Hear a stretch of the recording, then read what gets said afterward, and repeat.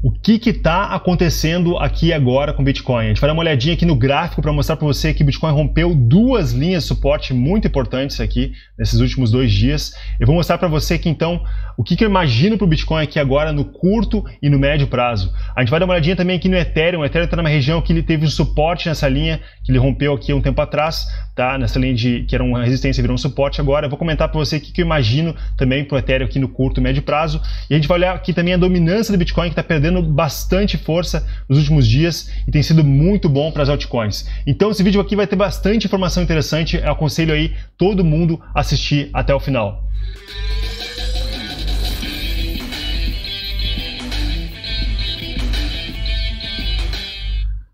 Bom, vamos entrar aqui então no gráfico do Bitcoin em relação ao dólar, pessoal, aqui do gráfico da Bitstamp, que eu olho sempre.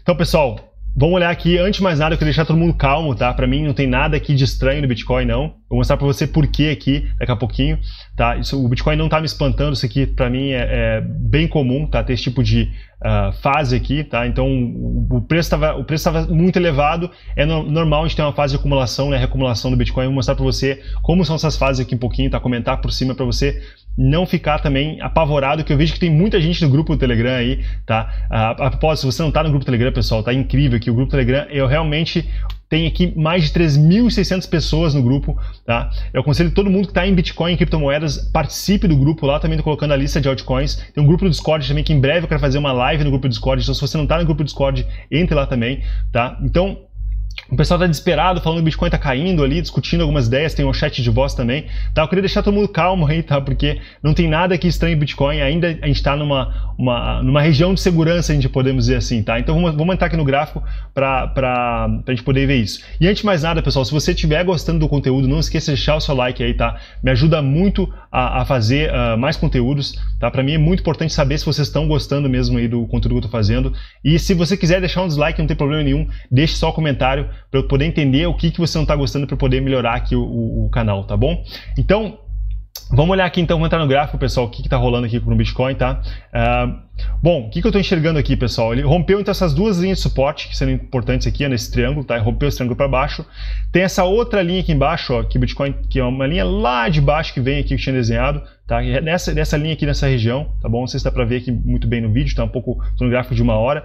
Então, vem lá de baixo dessa linha aqui, ó, e o Bitcoin teve um, teve um suporte nessa, nessa linha aqui também, mas ele rompeu aqui para baixo, né? Então, o que, que ele está buscando aqui agora? Ele testou aqui esse fundo aqui, ó, tá testando esse fundo aqui que teve aqui o fundo anterior, tá? Isso aqui pode ser, bem, ser também um caça stop loss, tá? Então, quero deixar claro para todo mundo, o Bitcoin vai buscar esses fundos aqui, tá? Um pouquinho mais abaixo ainda, por isso que eu sempre vou botar um stop loss na operação de trade aqui, eu boto meu stop loss nunca exatamente embaixo do fundo. Eu sempre boto, assim, uma, uma margem aqui, pessoal. Isso aqui é meio que no chute mesmo, tá no olho. Eu tento até olhar se tem algum outro fundo melhor aqui, uma região que o Bitcoin pode ter um suporte. Por exemplo, onde, coloca, onde eu colocaria aqui, ó, por exemplo, um stop loss aqui, ó, nessa região? Seria daqui mas um pouquinho, um pouquinho mais para baixo aqui, nessa região aqui mais ou menos, né, nos 31.900, porque isso aqui é muito comum, ó, pessoal. O Bitcoin vai buscar aqui, vamos usar essa linha de, essa linha de suporte aqui nesse fundo, ó. vamos usar essa aqui. Então aqui o Bitcoin vai buscar esse, essa, esse fundo, só que ele sempre tem aqui, ó, sempre tem uma, uma faz uma sombra, né? Ele faz uma sombra aqui para baixo, porque isso aqui é o famoso, pessoal, long squeeze. Então, todo mundo está fazendo long no Bitcoin, né, ah, fazendo compra de contrato, esse pessoal, ele compra Bitcoin, né? Ele realmente acaba comprando Bitcoin em determinado preço. Quando o preço baixa, eles têm um stop loss e isso acaba fazendo forçando a venda. E quando força a venda, isso aqui vira, vira uma venda em cascata e acaba levando o preço um pouquinho mais para baixo, né? Gera, gera, um efeito dominó, assim, por, eh, por, assim dizer. Então, acaba fazendo essas sombrinhas aqui mais para baixo, tá? Então, o Bitcoin está aqui exatamente nesse momento aqui, se a gente olhar aqui, ó, ele está aqui lutando nessa, nessa linha aqui que eu desenhei para você, tá? Que é a linha desse fundo anterior, tá? Então, você vai olhar os outros fundos aqui e vai ter uma noção para onde, onde o Bitcoin vai ter um suporte interessante, né? Obviamente que se ele romper esse suporte para baixo, pessoal, de forma forte, começar, começar a fazer o, o, o, candle de uma hora tá? Começando a romper para baixo, aí a gente pode se preocupar, porque ele pode daí, o Bitcoin poderia ter, ter, ter, ir testar aqui, ó, qual que seria o próximo nível que o Bitcoin testaria aqui, ó, seria essa linha amarela aqui, ó, que está agora aqui na região dos 30 mil dólares, tá? 30 mil e aqui botei assim mais uns 30 mil e 90 dólares, tá? 30, 30 mil dólares, vamos dizer assim. Então o Bitcoin poderia buscar agora os 30 mil dólares se ele romper esse fundo aqui, tá? Isso aqui é bem provável. Vamos puxar aqui só o VPVR, que eu gosto também de ter uma noção. O VPVR, tá? O, é, é, aqui a gente vê o, o, o, perfil de volume, né? Então quanto, quanto mais é, volume numa determinada região de preço, tá? Provavelmente vai ter um suporte, tá? Então é assim, é assim que eu vejo, tá bom? Aqui nos 30 mil dólares, como a gente pode ver, ó, aqui nesse, nesse VPVR, aqui nessa linha amarela, deixa eu só mudar aqui minha tela um pouco para o lado, para não atrapalhar. Então aqui, ó, aqui o Bitcoin, aqui, aqui nos 30 mil dólares ele não tem um suporte tão forte, tá? Mas é, não aqui no VPVR, mas aqui no gráfico a gente tem, ó, a gente vai ter é uma linha que o Bitcoin bateu várias vezes, né? Então, provavelmente aqui vai ter um suporte nessa região de 70 mil dólares, tá? Mas o suporte em termos de volume mesmo é aqui no nível de 29.277 dólares que eu botei aqui no gráfico, tá? Aqui realmente tem um suporte bom, tá? Mas não quer dizer que o Bitcoin vai bater exatamente aqui e voltar, tá? Ele, ele, ele poderia, ah, se ele chegar aqui, ele vai fazer provavelmente essa sombrinha que eu comentei para você. Ele faz a sombrinha para baixo porque acaba liquidando o pessoal porque são níveis aqui que não sou só eu que estou olhando, né? Vários traders estão olhando esses níveis. Indicadores aqui que eu uso são outros traders que vão usar também, tá bom? Então, é só para deixar alerta para todo mundo, tá? Agora, o que seria importante? A gente ficar aqui acima desse nível, tá? Esse nível aqui. Ah, e se for buscar aqui os 30 mil dólares, para mim, ainda, ainda se ele não romper os 30 mil dólares, ah, eu diria assim, ó, se não romper os 29.237, tá? Não fechar um candle de uma hora aqui para baixo, pessoal, essa aqui é a minha nova visão aqui do Bitcoin, tá? Ele não rompendo isso aqui para baixo, eu ainda estou extremamente bullish com o Bitcoin, tá? Eu vou mostrar aqui pro, por que, que eu acredito isso, tá, pessoal?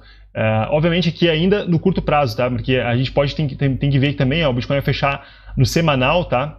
Ele vai fechar o semanal abaixo dessa região que eu comentei no, nesse, no vídeo anterior, tá? No vídeo anterior não, num dos vídeos que eu comentei aqui, o Bitcoin teria que fechar a semana acima dessa região aqui, ó. Ele teria que fechar acima dessa região aqui, ó porque essa região aqui é o, a da retração de Fibonacci, essa é região de 65%, então a gente poderia formar aqui no semanal né, um, um, um cenário de dead cat bounce, tá? então o Bitcoin poderia começar a reverter a tendência. Né? Então isso que eu estou cuidando. As notícias do Tether aí, esse, todo esse FUD do Tether, né, é, para mim ele é, ele é assim, é bem normal também, tá? Aparece aqui bastante o Tether, mas esse, desse ano aqui, é, as notícias estão sendo um pouco mais assim pesadas, né? O preço do Bitcoin ele está mais alto, então a notícia é mais pesada, né? Isso é, é comum ter também. Mas ah, para mim o Tether, pelo menos para os próximos 20, 30 dias, eu não vou me preocupar, tá, pessoal? Essa aqui que eu estou vendo aqui, vou, vou, olhar o gráfico, vou esquecer as notícias, vou ver o que está acontecendo aqui no gráfico, tá? Porque o, o que vai importar para mim é o que eu vou ver aqui, enxergar aqui na, nas linhas né, de tendência e nos indicadores, tá bom? Então, pessoal, por que eu não estou preocupado? Vamos olhar aqui de novo o, um ponto que eu queria comentar aqui, ó. O Nicolas, tá? Ele até comentou um, comigo aqui, a gente fez uma conversa um dia, o Bitcoin poderia estar aqui agora, ó, fazendo uma fase. Tem duas opções, tá? O Bitcoin poderia estar numa fase de distribuição ou reacumulação, tá? De acordo com lá os cenários do ICOF, tá? Eu vou mostrar para você o que, que é os cenários do ICOF que, que existem. Então, o Bitcoin poderia fazer uma fase aqui, por exemplo, uma, uma, uma fase aqui de reacumulação, tá? A reacumulação seria aqui, ó. E faria algo parecido com isso aqui, ó. Então, né, o Bitcoin faria isso aqui. Né? Poderia até cair aqui um pouco mais para baixo, ó, e voltaria, enfim, né? E depois aqui poderia testar de novo isso aqui, enfim, e depois em algum ponto ele romper para cima aqui de forma forte, tá? Isso aqui é uma, uma, uma fase de reacumulação, tá? De acordo com o cenário do ICOF. Se o Bitcoin fazer uma, uma fase, fazer uma, um cenário de distribuição, seria algo bem parecido. Então, por isso a gente não sabe que, que onde a gente está aqui, né? O Bitcoin poderia fazer algo bem parecido aqui e tal, até inclusive romper essa região aqui, ele poderia romper, enfim, mas chegar a algum ponto ele romper esse aqui de novo para baixo e fazer isso aqui, ó. Então, como é que são os cenários aqui do Wyckoff, ó? São, são os seguintes cenários aqui. Só um pouquinho, pessoal.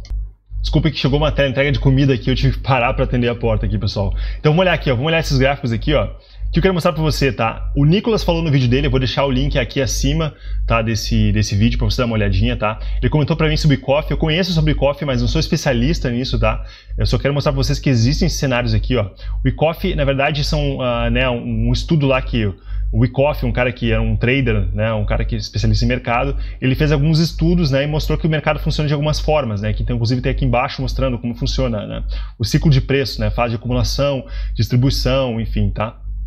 Então, o que a gente tem que ver aqui? Ó? Esses gráficos aqui, tentar, integrar, tentar entender o que fase o Bitcoin está. Tá? Então, a gente tem duas, duas possibilidades agora para o Bitcoin. Ó. Tem duas possibilidades. Ou a gente pode estar numa fase aqui, ó, essa fase aqui de reacumulação. Tá? Então, o Bitcoin aqui ó, ele subiu, A gente pode voltar aqui no gráfico, acompanhar, comparar esse gráfico aqui com o destaque agora, né? O Bitcoin está isso aqui, ó, subiu, atingiu a região lá dos 42 mil dólares aqui, né?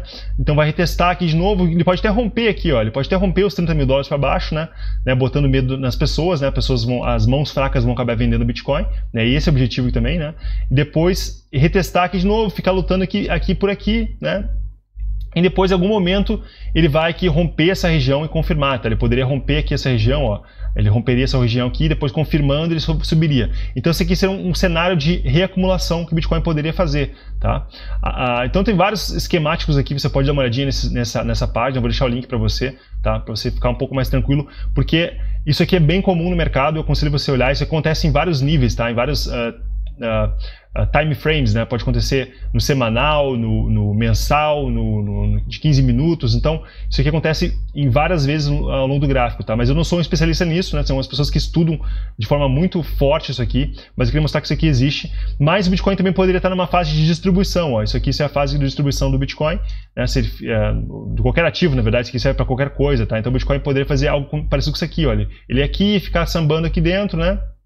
Depois até testar aqui, ó, romper a região do 42 lá, o topo que ele fez anterior, não pegar força e acabar caindo, tá? Como é que você sabe, como é que a gente vai saber se a gente está numa fase de distribuição ou reacumulação? Vai depender desse momento aqui, ó. Se a gente começar a ver que o Bitcoin perdeu força, bateu no topo aqui três vezes, perdeu força, enfim, e começar a cair, pessoal, daí é cenário que vai tomar forma, tá? Por enquanto a gente não sabe qual fase que o Bitcoin está. Então vamos entrar aqui no gráfico de novo, ó. A gente não tem como saber aqui ainda qual que é, qual que é uh, em qual aqui estado que o Bitcoin está aqui agora, tá? É, para mim, sinceramente, pessoal, eu acho que o Bitcoin está numa fase de reacumulação, tá? É a minha opinião. Eu ainda vou, vou, eu ainda vou definir isso aqui assim que isso aqui confirmar um pouco mais, tá? Ainda vai depender um pouco do desenho. Então, deixa eu mudar o gráfico de 4 horas aqui, fica mais fácil de ver pra gente, ó.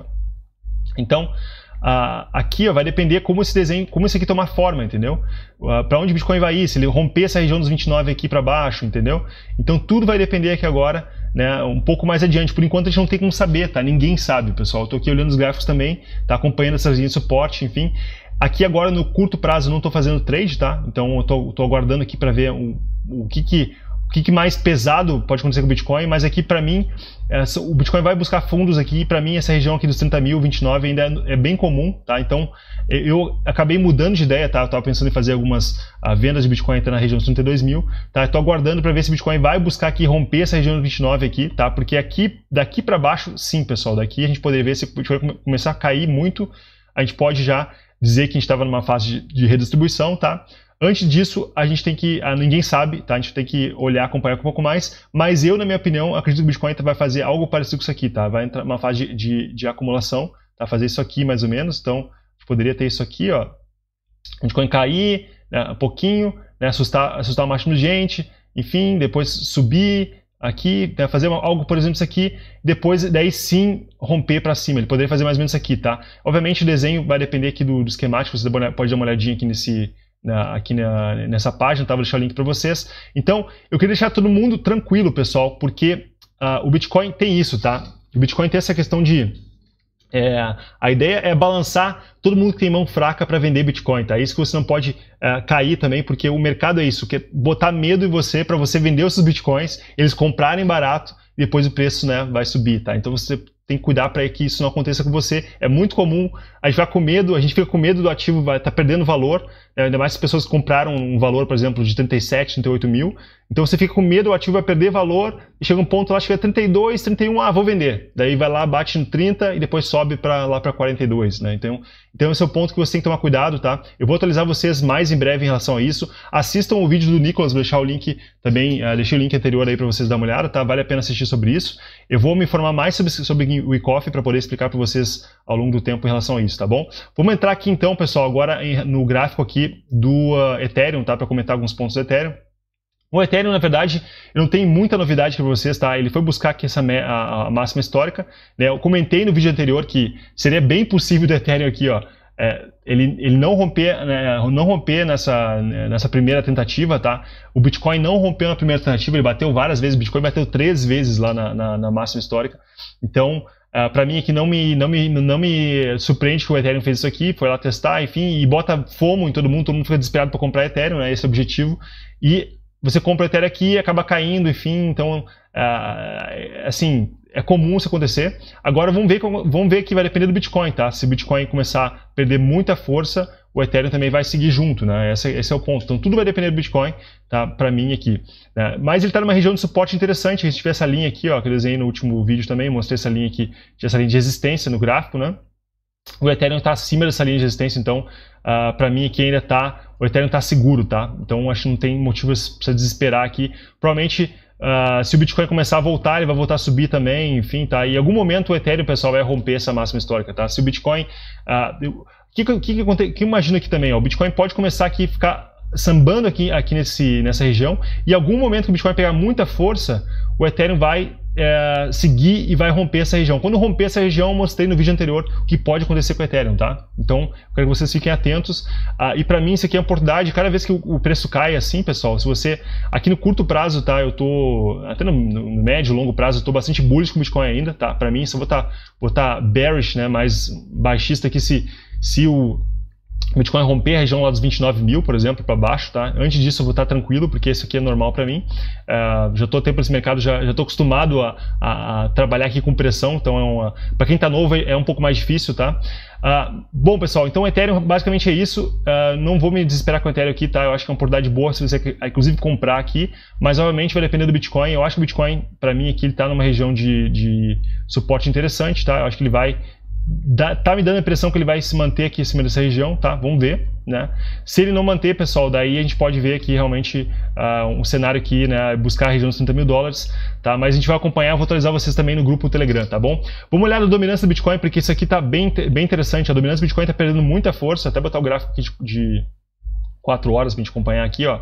A dominância do Bitcoin está perdendo muita força, tá? Isso aqui está sendo excelente para as altcoins, pessoal. falei que depois que ele rompesse essa região, comentei em vários vídeos vocês, rompendo essa região aqui vermelha, né? Eu comentei, Bitcoin, a dominância é perder força, tá? E continuar perdendo força, entrar numa tendência de baixa aqui e as altcoins iam ganhar, iam ganhar força, tá? Exatamente está acontecendo aqui agora. A gente vai ver aqui as uh, altcoins aqui no, no, no CoinGecko, ó, elas estão Agora, em relação ao Bitcoin, vamos puxar aqui em relação ao Bitcoin, então vários ganhando força aqui, ó, tudo verdinho. Ó. Então, é assim que funciona o mercado. Agora a gente está aqui numa. Uma, assim, dá para dizer que a gente está numa temporada de, de, de altcoins, tá? Para mim, eu estou vendo aqui uma temporada muito clara. Né? As altcoins estão ganhando bastante força. O Bitcoin está perdendo força. Inclusive, está saindo um pouquinho de. está saindo dinheiro do Ethereum aqui. Se a gente puxar em relação ao Ethereum, ó, a gente pode fazer essa mesma análise aqui em relação ao Ethereum. Ó. Você muda para Ethereum. Então a gente tem aqui também as várias altcoins, uh, várias altcoins ganhando força em relação ao Ethereum, por exemplo, Polkadot ganhando força, né, o, uh, aqui que é mais o Cardano, tem várias, várias que Chainlink, várias, várias altcoins ganhando força em relação ao Ethereum, tá? Então isso aqui a gente mostra que uh, tá saindo também dinheiro do Ethereum e indo para as altcoins, tá? Isso é interessante a gente acompanhar, tá bom, pessoal? Pessoal, o que, que, eu vou fazer no próximo vídeo, tá? Eu vi que tem muita gente nova no, no canal aí, também entrando no grupo Telegram. De novo, se você não está no grupo Telegram, participe, tá? Bem bacana para você tirar dúvidas ali. Eu vou participar também lá, tô, tô de vez em quando respondendo as pessoas. Eu tô com o computador arrumado aqui agora, tá, pessoal? Ontem eu não consegui fazer vídeo.